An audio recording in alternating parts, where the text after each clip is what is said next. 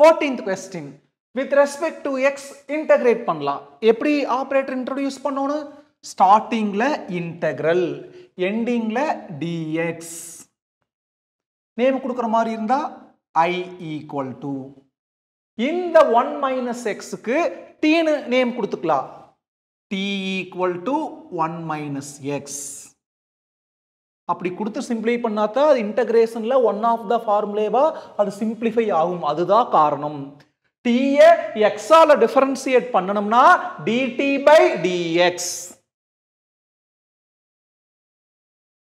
equal to தனியாக இருக்கிற கான்ஸ்டன்டோட differentiation zero minus அப்படியே இருக்கு. டினாமினேட்டரில் டிக்கு அப்புறம் என்ன இருக்குது? எக்ஸ் அப்படின்னா எக்ஸால டிஃபரன்சியேட் பண்ணுறன்னு அர்த்தம். ஒரு வேரியபிளை அதே வேரியபிளால் டிஃபரன்சியேட் பண்ணா ஒன் அப்படின்னா எக்ஸை எக்ஸால டிஃபரன்சியேட் பண்ணோம்னா ஒன் ஜீரோ மைனஸ் ஒன்னா மைனஸ் ஒன் டிஎக்ஸ் மேலே கொண்டு போலாம் dt equal to minus one into டிஎக்ஸ்னா minus dx பாருங்க இங்க வெறும் டிஎக்ஸ் தான் இருக்குது. அதனால multiply both sides by minus இது என்ன மைனஸ் டிடி அதை மைனஸால மல்டிப்ளை பண்றப்போ minus into minus plus dx இப்போ கொண்டு போய் ரீப்ளேஸ் பண்ணிக்கலாம். அந்த கொஸ்டின் பூரா அந்த ஃபங்க்ஷன் பூரா டீல மாத்திரம். அதுதான் நம்ம நோக்கம். ஐ ஈக்குவல் டு இன்டகிரல் இது என்னது? எக்ஸ் இங்க என்ன இருக்குது? T equal to one minus x நல்லா கவனிங்க. T equal to one minus x minus x இங்க வந்தா plus x equal to one அது அப்படியே.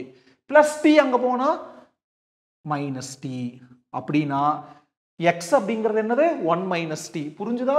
One minus x equal to டியை x வர மாதிரி சிம்பிளிஃபை பண்ணிக்கிறோம். மைனஸ் எக்ஸ் இங்கே வரப்போ ப்ளஸ் எக்ஸ் ப்ளஸ் டி அங்கே போனால் மைனஸ் டி அப்போ இங்கே என்ன இருந்துச்சு? எக்ஸ் எக்ஸுக்கு பதிலாக ஒன் மைனஸ் டி அதுக்கப்புறம் one minus x one minus x நேரடியாக டீன்னு இருக்குது. அந்த ஒன் மைனஸ் எக்ஸோட பவரில் செவன்டீன் அப்போ இந்த டீயோட பவரில் செவன்டீன் அதுக்கப்புறம் டிஎக்ஸ் பாருங்க டிஎக்ஸ்னா minus dt equal to minus integral பாருங்க இந்த வெளியில் இருக்கிற டி பவர் செவன்டீன் காமனாக்கு உள்ளுக்குள்ள வந்து ரெண்டு கூட மல்டிப்ளை பண்ணலாம். One into t power seventeen t power seventeen அப்புறம் minus t into t power seventeen t power eighteen dt இந்த மைனஸ் உள்ள கொண்டு போய் ரெண்டு கூட மல்டிப்ளை பண்ணிக்கலாம். Equal to integral minus into minus plus அப்போ பிளஸ் டி பவர் எயிட்டீன் இது என்ன ஆயிரு மைனஸாக மாறிடு minus t power seventeen dt புரிஞ்சுதா? செக் பண்ணி பார்த்துங்க. Minus into minus plus power plus t power eighteen அப்போ minus t power seventeen is equal to மொத்தம் ரெண்டு டேர்ம் இருக்குது. அப்போ இன்டகிரலை ஒவ்வொன்றுக்கும் இண்டிவிஜுவலாக ஸ்ப்ளிட் பண்ணிக்கலாம்.